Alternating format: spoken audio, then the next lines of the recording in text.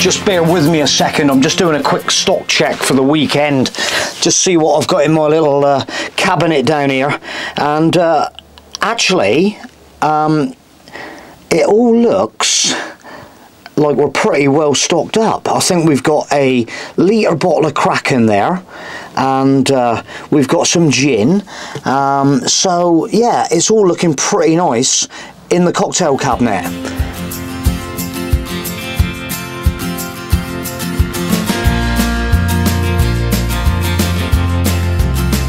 Tell you what I'm up to tonight. So it is Thursday night. I said I would be back by the end of the week, and he's back. So it's Joff, for anybody not, not that doesn't know me, from Mo Hotel Adventures YouTube channel, and we are motorhome crazy. Absolutely, motorhome.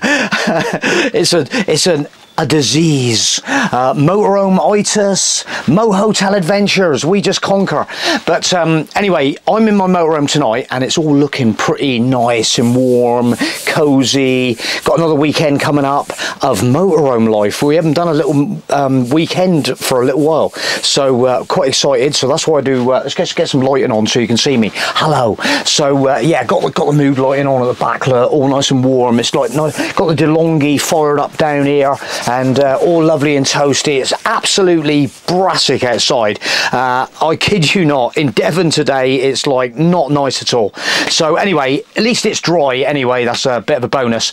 But what am I talking about today? Oh, got something to show you in a minute. Oh, look at that. But um, before I start on that, I'm just going to um, rip back a little bit again. Uh, we were talking about um, helping Kath out with a little motorhome trip uh, with some different places in the camper parks and this, that, and the other on Tuesday. So I'm just getting myself comfortable. And uh, anyway, so tonight was another little thing that I was uh, thinking about in the back of my mind. And uh, it is them kind of places that you go when you get so if we're going for example if we're going back to Calais which we possibly could be um, in the not too distant future.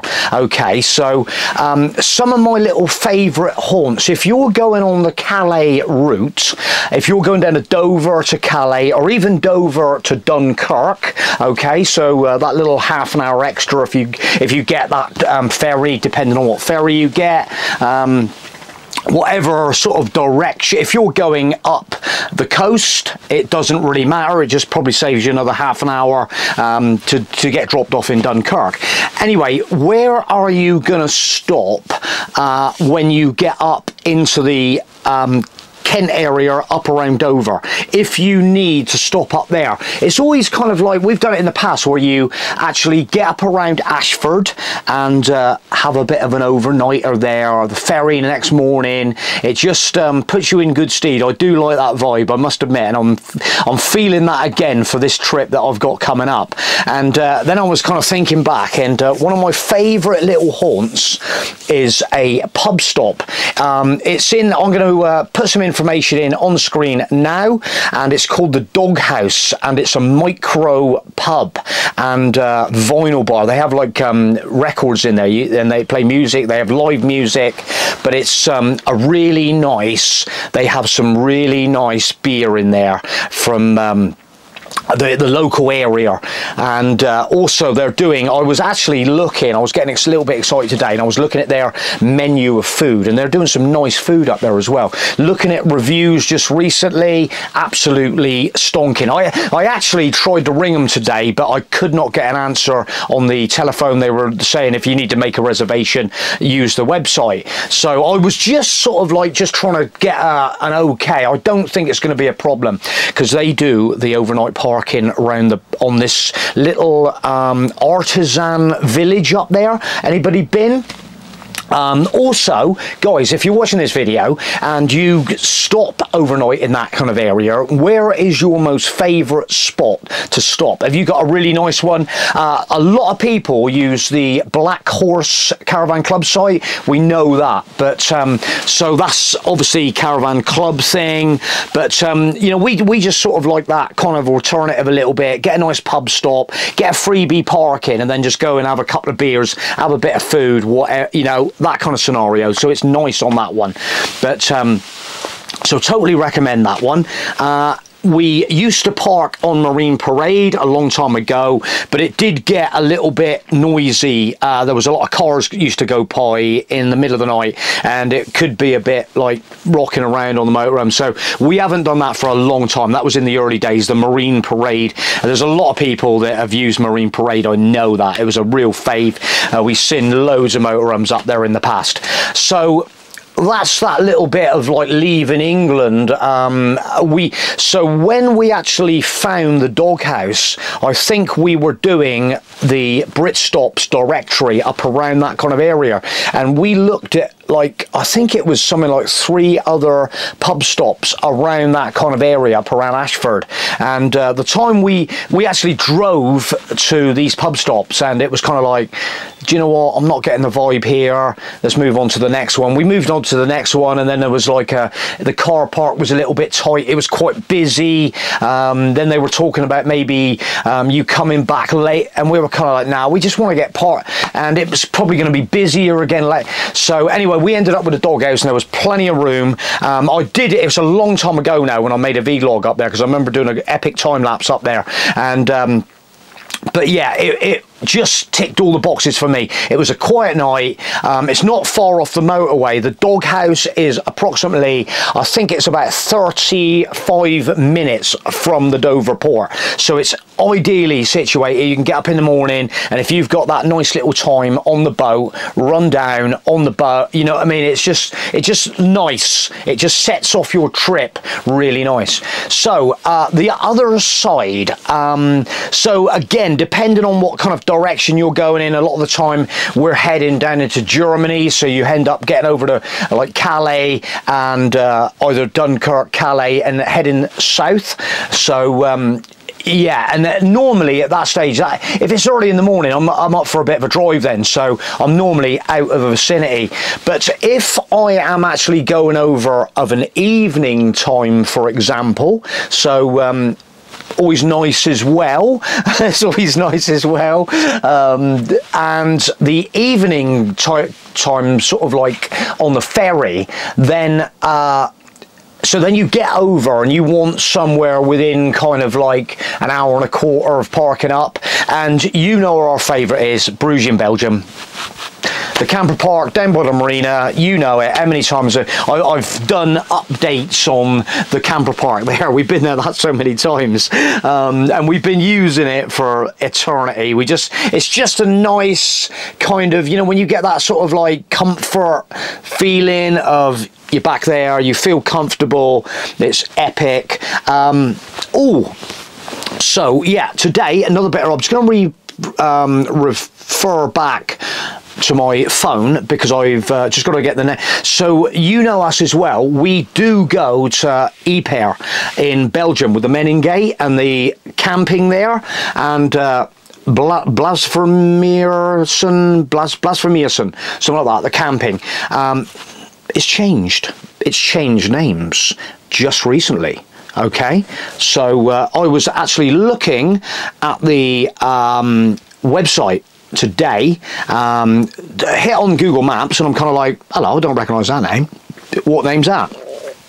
It's now called Urban Gardens Ypres, the camping. Check it out. We'll get the link in as well. Um, we are open all year round, and there's a little um, sort of update here, and it says uh, Camping Blasmiersen is no more. The site is now called Urban Gardens. We have solid plans for the future with Urban Gardens. It's kind of like a brand. It looks like they've got a camping in Ghent as well, in Belgium, just along from Bruges, the next um, big city on from Bruges go along the motorway before uh, Brussels. Um, so we have um, solid plans for the future with urban gardens. Um, but you can already contact us now. Some images on the website or images of the future. On the reservation page you can uh, see the current situation blah blah blah. So um, yeah so that's an interesting one. So that'll be uh, interesting to see how what changes are coming for that camping there in Ypres. And again it's another really comfortable one when we use it on the way back as well. We stay there on the way back as well as Bruges. Um, there's a few more around that kind of area. A few years ago, we used to use Gravelina Gravelines. Do you know that one? Have you heard of Gravelines? And um, you get on uh, camper contact and uh, search around that kind of area between Calais and Dunkirk. We kind of started wanting to drop back a little bit. We were kind of kind of happy with the the situations over the last couple of years in that area. Um, I'm not going to go into too much detail, but we were trying to keep safe. We didn't want to uh, have any aggravation whatsoever, and we tried to, um, you know, get back. We do, we don't like staying on ports. We hate staying on ports unless it's uh, pool, where it's super quiet.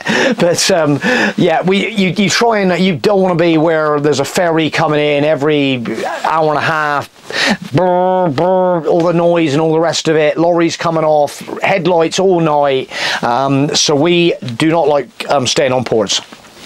But um, Gravelina used to be quite a nice little park up, and uh, anybody you you know, there's a lot of people that have been there, so you know the score. But um, that's one we used to use, and uh, again, when I think back, it it could be a little bit noisy at night. You you know exactly what I mean, guys. If you've been there, um, we used to get a, you know used to get sort of um, some cars revving up in the middle of the night going by and stuff like that. But um, yeah, all good. Yeah, that was Gravelina. Uh, we did another one called Hondschoote. Hondschoote. Do you know that one? Have you heard of that one? Hondschoote. It's with the wind. There's like a windmill, um, and we've done that one occasionally. It, it wasn't. It wasn't the best one. It's not as. It doesn't feel. Um, it was. A, it was a freebie at Hondschoote, admittedly, but um, it doesn't kind of feel like your camper park, like Ypres, where there's a barrier, Bruges, where there's a barrier. You're in amongst lots of motorhomes. We were. We were sat out there, and uh, I think we we were just only motorhome there. Um, but we've done a quite, you know, there's, there's loads like that. Um, the other one we used to go to is Bergues. So if you're coming up from Calais and you uh, then cut off um, by Dunkirk and start heading south, you go past, we call it Bergues. Bergues? Bergues? Anybody give us an update on that? So, Bergues was another freebie motorhome park. I haven't been up there for a long time to be honest, but um, bit of a gravelly car park, okay. Um, you can walk into the town, there's some restaurants and bars and stuff, but um, yeah, so I just thought I'd give you the heads up on that. Anybody that, um, some of these people that are maybe going over, we still see on the forums, we still see uh, um, people um, not been before, looking forward to, uh, uh, what do people recommend to stop? Um, but just make sure, you know, just maybe just do a little bit of research. Uh, even on the camper contact, you get reviews and uh, just, you know, check out the reviews. I'm, I'm always kind of do it because I want a good experience. I don't want any sort of, you know, if the whole trip um, it's got to be, and the amount of times we've been in our motorhomes over the years and uh, it's all gone pretty squeaky do you know what I mean? It's all been really nice and uh, just a couple of little odd occasions where you get the the boy racers in the cars and stuff like that and uh, you know the horns going and stuff like that. So just that's unset it's a bit unsettling you just, you just don't want that and uh, that's what we don't want. So check out the reviews guys and uh, hope you've maybe just sort of like taken a little bit more from this video. And um, that's the kind of videos that I kind of and hey guys I, I'd love to hear your feedback on this as regards the places where you stay. If you if you can still recommend it's it's difficult to keep up with all these kind of places um, new places that urban gardens crikey it's changing names there's things moving on all the time. And um, it's it's a job to keep up with uh, you know so if there's any favorite places that you think that we would like give us a comment thanks a lot. So anyway, in the meantime, um, so I think you've waited long enough, and I'm I'm so excited. So um, so they're orange, and we've got a little motif on the front of it. Can you see that? Oh yes, a little Dutch number plate on the front. So let me just um, uh, unfold this. They once I get involved undoing sweatshirts, they're never the same again. Caroline will be saying, "What the." Have you done with it? So anyway, we've got a little motif on the front like that. And then to be honest, um, I was messing around the other night and I'm like, oh yeah, I'm just, uh, we'll try a little bit of that. And that's what you go. So on the sleeve, we've got a uh, little logo as well there, um, coming down the, on the, on the sleeve. Look. And then on the back, what is on the back? Joffy, what is on the back? Look at this. Look at this. Oh yes, how many sweatshirts have we got? but it all makes great fun, do you know what I mean? So anyway, that's the sweatshirts and it's never, let's say, that's what ends up, my sweatshirts end up like that. Um, I need maybe a lesson on folding sweatshirts. Maybe I need to um, check out some YouTube videos on sweat, sweatshirts, t-shirts, stuff like that. I think there's a, a thing you can use. But um, okay, anyway, back so, oh, the uh, people that make these for us are um, Yazoo. Yazoo custom shirts. So you just get your logo and uh, uh, fire it all online, even with the little motifs. Um, whatever motif you come up with, they will print it on your sweatshirt. So um, fantastic. Yazoo personalized clothing. I, mate, we just use them. We just use them and they've been fantastic. But um, if, if, if you're looking for personalized clothing, fantastic. Um, so anyway, back to our friends at Avery and uh, so they send through let me just show you so they always send us these nice little folders with made with love. So um, it's all cool. But anyway, inside, inside is these fantastic new stickers. Oh yes, look at them. Look at that. Oh, look at the shine on it. Oh, so you can um, choose the kind of finish you want on there with Avery. And uh, I don't forget, I've got to chop all these out. That's the only thing. So yeah, but I, I love these stickers. I love these uh, stickers. So the, this is the design we came up with, and um, I'm a happy bunny. So that was that little lot. And then I'm um, so anyway, yeah. So we're always up for you know a little bit of uh, crafty stuff, and uh, we've got another one another one. What could be in here? So I'll show you guys. What's in here? Oh, and there's one already missing. So these are on the gold paper. So they end up with a little tiny gold um, piece around the sticker. Um, let me just hold that up.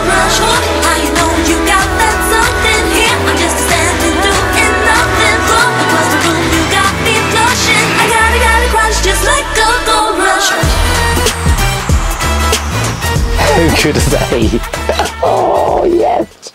Oh, yes. So we got a load of them. These are our kind of like little, um, what are we going to do with these? Stick them all around Holland. Stick them all around Holland.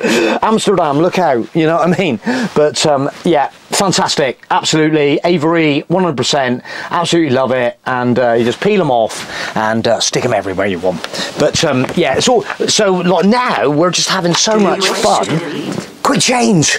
Bah! Look at this. I am living the dream. Absolutely living the dream.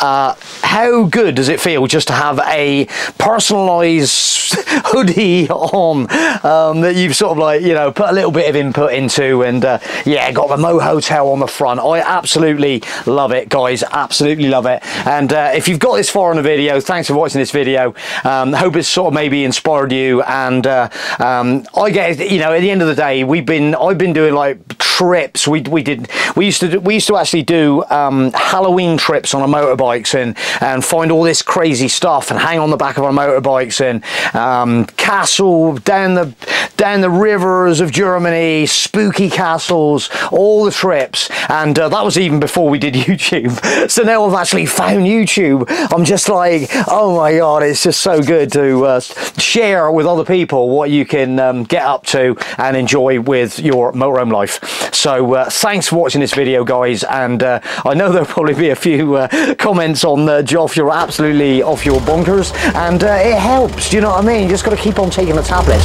and enjoy your motorhome. So until next time, guys, I really appreciate you watching this video. Give me a thumbs up and uh, always, you know the score. Drop me a comment and um, we love it all. See you soon.